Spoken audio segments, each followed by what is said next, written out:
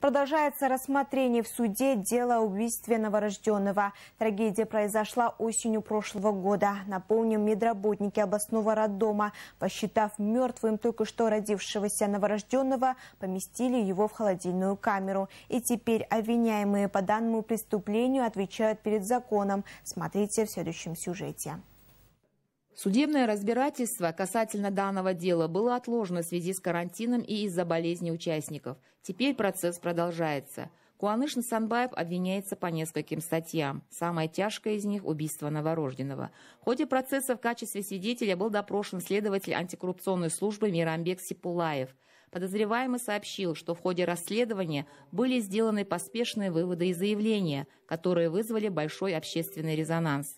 Бұл кісі қазір куә ретінде жауап алып жатыр куә ретінде біз осы уақытқа дейін куәлердің барлығын функционалдық обязанностін сұрадық мен бұл кісінің функционалдық қызметі заң күйінде өзінің күнделікті жұмыс жасап жүрген вообще қалай тіркеледі бұл кісі айтып отыр мысалға сізге свидетельдердің показаниясымен тоқсан тоғызыншы статья бойынша айып тағылып отыр деп а қылмыстық істе по факту тағылған сол себептен осы кісінің айырмашылығын бізге айтып берсе бұл қалай сәйкес келмейді по факту деген бөлек менің түсінігім бойынша мен әлі юрист емеспін әрине но менің түсінігім бойынша по факту деген бөлек а свидетельдердің көрсеткіші деген бөлек осы жағдайды түсіндіріп берсе Стоит отметить, что подозреваемый Самбаев в совершенстве изучил статьи Уголовного кодекса. В суде он задавал вопросы следователю в рамках закона.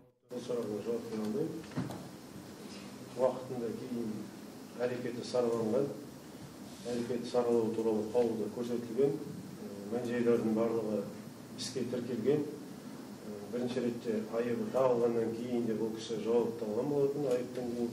Неизвестно, когда и как завершится этот процесс. Стоит отметить, что суд по уголовному делу начался в мае, но из-за вспышки коронавирусной инфекции заседания проходили в онлайн-формате.